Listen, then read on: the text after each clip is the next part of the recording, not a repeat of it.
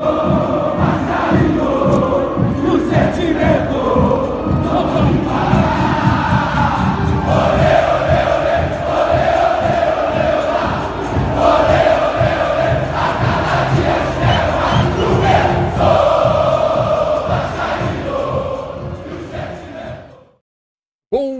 Vascaíno, bom dia, Vascaíno. Eu sou Adailton Senna, mas você já sabe, pode me chamar de Dadá. Estamos começando mais um Bom Dia Cast, o seu companheiro de todas as manhãs.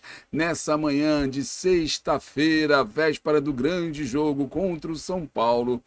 E o meu bom dia especial vai para você que está ansioso, aguardando o Pix. Vai cair o Pix ou não vai cair o Pix? Calma, galera. Eu estou mais ansioso com o jogo de amanhã. O Pix é um detalhe. Vamos que vamos, vamos para as notícias.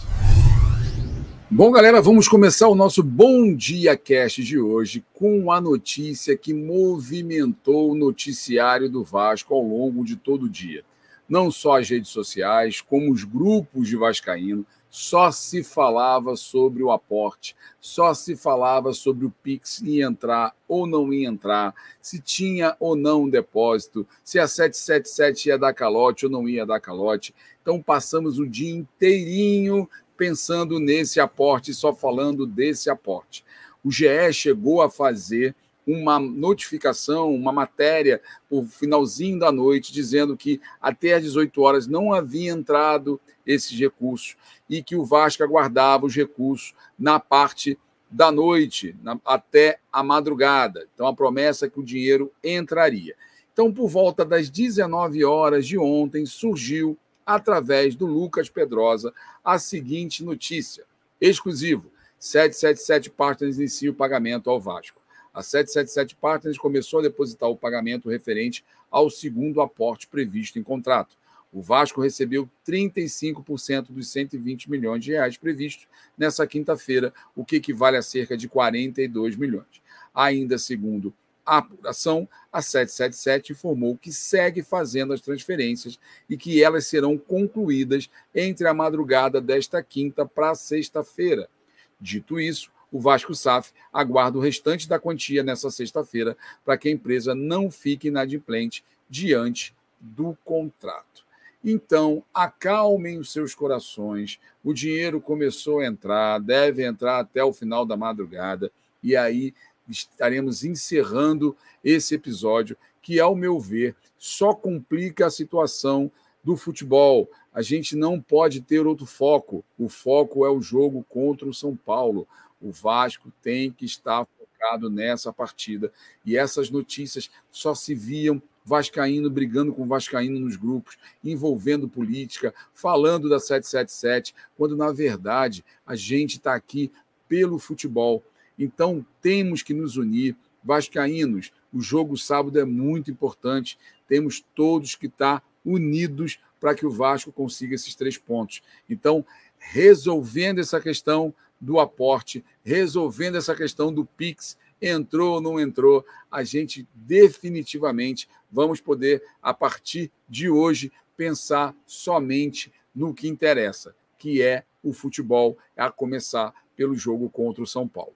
Então foi uma polêmica danada, um monte de disse e me disse, não se chegar a conclusão nenhuma, mas graças a Deus, segundo informações aí do Lucas Pedrosa, do SBT Esporte Rio e do canal do Pedrosa, já começou a pingar a grana do aporte. Então, vamos baixar a bolinha, vamos ficar tranquilo e vamos focar no futebol, galera, que é o que interessa, o que é o que faz a nossa paixão pelo Clube de Regatas Vasco da Gama.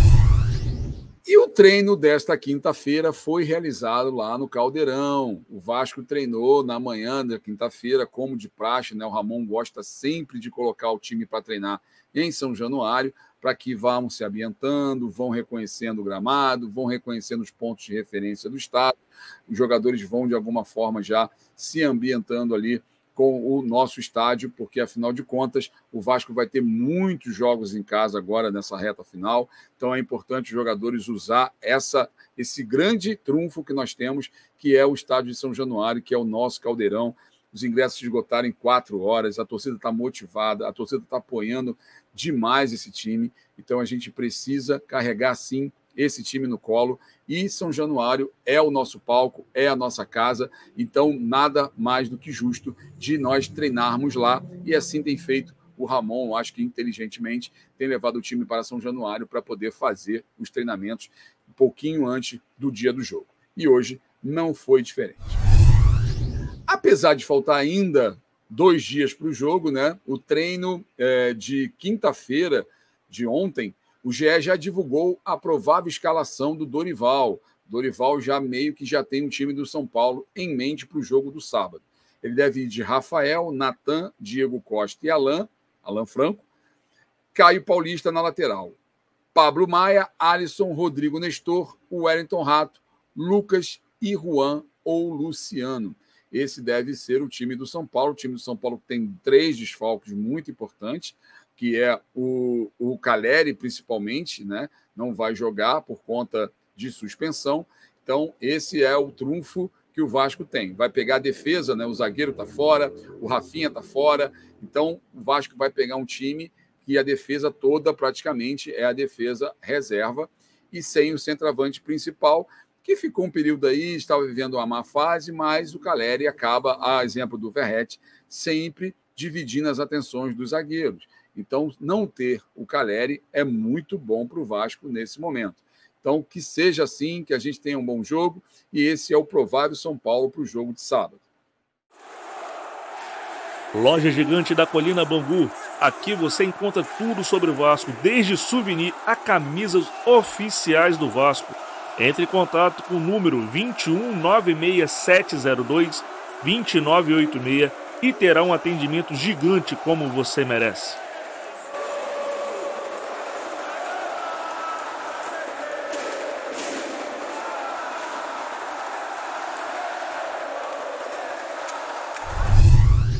Nós vamos ter o nosso God of Zaga. Maicon vai voltar, né? Pela, o, o Medel vai estar cumprindo suspensão no jogo de sábado. E aí, obviamente, a razão natural vai ser o Maicon assumir essa zaga e mais uma oportunidade dele como titular.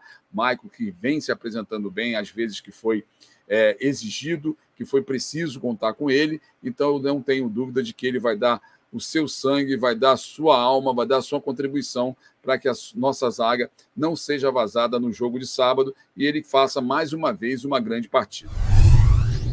E olha que interessante, rapaz, desse time do Vasco, obviamente, o único remanescente, o único que conseguiu aí vencer o São Paulo na última vitória com o Vasco, que o São, do Vasco sobre o São Paulo em São Januário, que foi em 2020, é o nosso querido Gabriel Peck.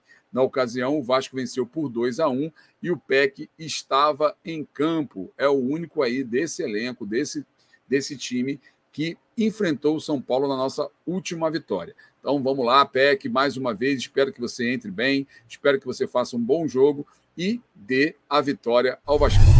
Né? O Vasco fez o pedido para usar o Maracanã e tem como objetivo dar oportunidade de mais torcedores estarem no estádio.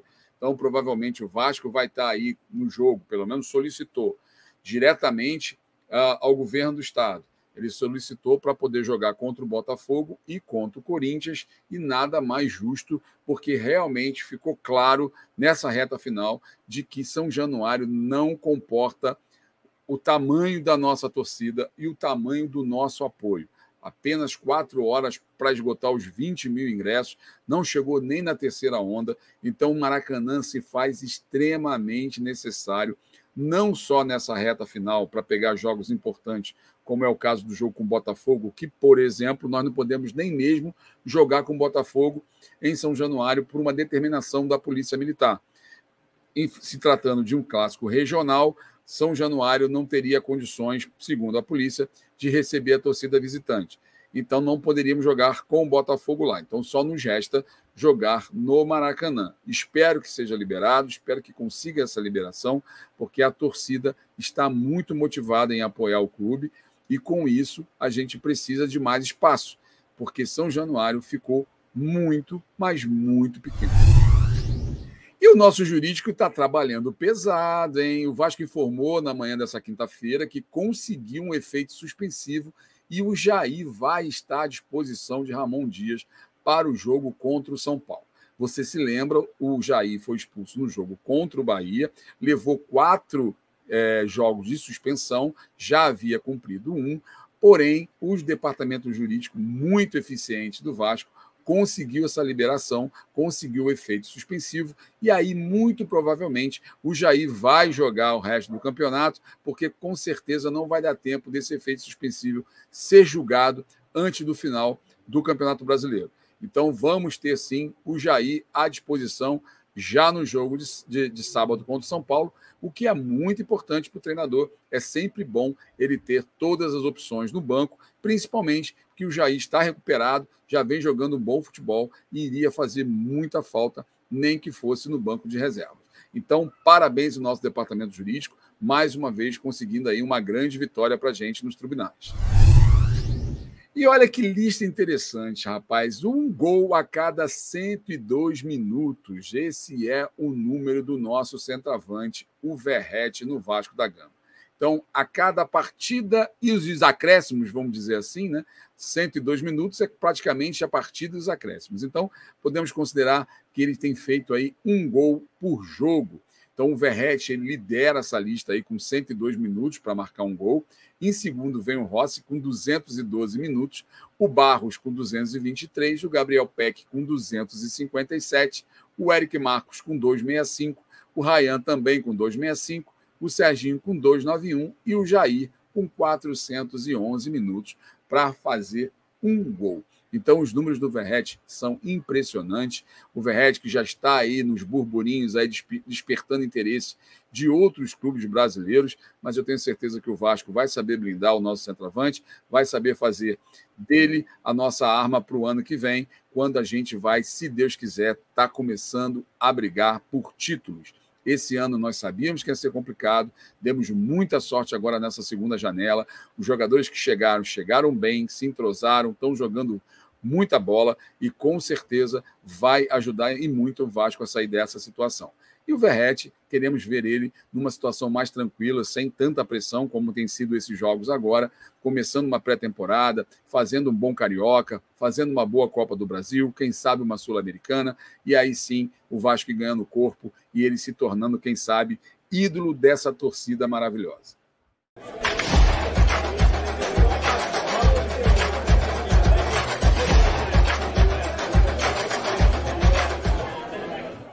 Agora vamos para o Fala Galera. O Fala Galera você já sabe, né? A gente pinça alguns comentários que estão rolando nos programas da casa e vem aqui te dar aquela moral. Vamos começar com o Ivanil Sarte Barbosa de Mesquita, que comentou o seguinte na live Raiz. Fica imaginando como estaria o time do Vasco se não fosse a SAF. Estamos entre, estamos entre os Z4. Imagina sem a SAF. Rapaz, eu concordo com o Ivanil, tá? O Vasco vivia um estrangulamento financeiro enorme, uma dificuldade de pagar salário, uma dificuldade para contratar jogador, porque obviamente já estava queimado no mercado, ninguém queria vir para o Vasco sabendo que não iria receber. Então, a chegada da SAF, de alguma maneira, apesar de todas as dificuldades, apesar de todos os percalços, a chegada da SAF abriu um leque de opções maior tanto é que hoje a gente tem um time considerável, muito bom para quem começou do jeito que nós começamos. Então não podemos dizer que a SAF fez um mal para o Vasco. Pode até ser que não fosse a melhor SAF, que poderia ter outras opções, mas que esse dinheiro que entrou, esses aportes que vieram até então, deram uma organizada na casa e fizeram com que o Vasco voltasse a ter credibilidade isso a gente não pode negar. Então, eu concordo sim com o Ivanil. Se não fosse a SAF, talvez nós estivéssemos numa situação de nem ter subido para a primeira divisão. E o Bruno Fonseca colocou: Boa noite, Sérgio e André. Gostaria de saber por que o Barros não vem mais sendo relacionado para as partidas. Ele está machucado ou é opção técnica? Acho ele um ótimo jogador e seria importante hoje. Bruno, eu acho o seguinte: a gente já até colocou aqui no canal que o Ramon ele tem uma preocupação muito grande em queimar jovens jogadores. Ele está preferindo usar os jogadores mais cascudos e aí ele tem deixado feito uma, um revezamento nos jogadores da base. Eu concordo com você, o Barros começou bem o Campeonato Carioca, fez bons jogos, mas eu acredito que o Matheus Carvalho, nessa linha sucessória aí de quem vai ser o reserva do Zé Gabriel, o Matheus leva uma certa vantagem em relação ao Barros. Até por conta da contusão do Barros, ele acabou chegando e ficando atrás do Matheus, que também, todas as vezes que entrou, entrou bem. Então, eu acho que ele vai ficar revezando no banco com alguns outros jogadores para pegar tarimba, para pegar experiência, mas ele vai ser trabalhado para futuramente, aí sim, ele poder brigar por uma posição de titular. Porque o Ramon não quer queimar o pessoal da base e eu acho que ele está muito certo fazendo isso. E o Matheus Oliveira colocou aqui, ó. Tá Gabriel Dias e outro jogador correndo. Provavelmente é o Robson. Eles voltaram, né? Estão na transição, já estão treinando com bola. O Gabriel Dias e o Robson realmente já estão, muito provavelmente devem ser relacionados. Não acredito que o Robson entre como titular, até porque ele está vindo de contusão. Muito menos o Gabriel Dias. Mas são jogadores que vão estar à disposição. Mas a gente também tem que pensar no seguinte: né? O Ramon ele adora uma surpresinha, ele é quase um Kinder Ovo, então quem sabe ele não vem aí com um lateral direito diferente para o jogo contra o São Paulo, aproveitando aí que agora ele vai ter mais duas opções, que é o caso do Gabriel Dias e do Robson, que ele vinha colocando ali improvisado na lateral. Então pode ser sim, Matheus, que ele venha aí com alguma surpresa na lateral direita. Vamos aguardar. E o nosso, o nosso adversário de sábado, ele é um tremendo freguês do Vasco em São Januário. Tá? O Vasco venceu o São Paulo nos últimos três jogos em São Januário. Em 2020 ele venceu por 2 a 1 Em 2019 ele venceu por 2 a 0 Em 2018 ele venceu por 2 a 0 E em 2017 houve empate em 1 a 1 então, o São Paulo, que é um dos piores, os piores visitantes desse Campeonato Brasileiro, estando atrás apenas do América Mineiro, vai enfrentar o Vasco nesse sábado, às 18h30, no, num caldeirão em São Januário, aonde ele não costuma se dar bem. Então, o Vasco tem que pegar aí essa mística de manter ali o São Paulo como freguês e arrancar esses três pontos a qualquer custo. E o Vasco vai ter pela frente cinco equipes que ainda lutam contra o rebaixamento. Então a gente vai ter confronto direto a dar com pau daqui para frente. A gente vai enfrentar o Internacional, que fez a grande besteira de ser eliminado da Libertadores, jogo ganho, perdeu gol pra caramba, tanto no Rio quanto lá em Belo, lá em, em no Beira Rio perdeu a oportunidade de ir para a final da Libertadores e eu tenho certeza que eles vão se enrolar agora no Campeonato Brasileiro. Então o Vasco pega o Inter na 29 rodada, vai pegar o Goiás fora de casa na 30 rodada, pega o Cruzeiro na 33 o América Mineiro na 34 aí em casa e o Corinthians na 36 Esses cinco times estão brigando para não cair. Então é importante o Vasco conseguir aí nesses cinco jogos, né, o equivalente aí a 15 pontos, o Vasco pelo menos aí beliscar uns 10, 12 pontos seria maravilhoso para as nossas pretensões. Primeiro, porque deixaria esses times em situação difícil, porque estão brigando com a gente ali pela zona do rebaixamento, e a gente avançaria em relação a eles. Eu acredito sim no Vasco. Eu acho que o jogo contra o, contra o Internacional, contra o América e contra o Corinthians não dá para negociar, que são jogos em casa, então são jogos que o Vasco tem que vencer. E agora contra o Goiás e contra o Cruzeiro, de repente, são jogos aí que a gente podia beliscar um empate ou, quem sabe, uma vitória magra, para a gente sim ficar muito longe da zona do rebaixamento. Parece que já está definido Cruzeiro e Vasco, válido pela 33ª rodada do Brasileirão, não vai ser realizado no Mineirão. O jogo vai ser transferido para o Independência, porque o estádio do Mineirão vai estar sediando aí um show de Roger Waters, então não vai ter jogo nesse dia. Por isso, o Cruzeiro já solicitou e já confirmou que essa partida vai ser no Independência. O Independência que a gente conseguiu a vitória lá magra, no apagar das luzes, com aquele gol mágico do Jair. Então, tomara que a gente consiga também uma vitória, já que todas as vezes que nós fomos para Minas Gerais esse ano, a gente beliscou os três pontos. Então, com o Cruzeiro também não vai ser diferente.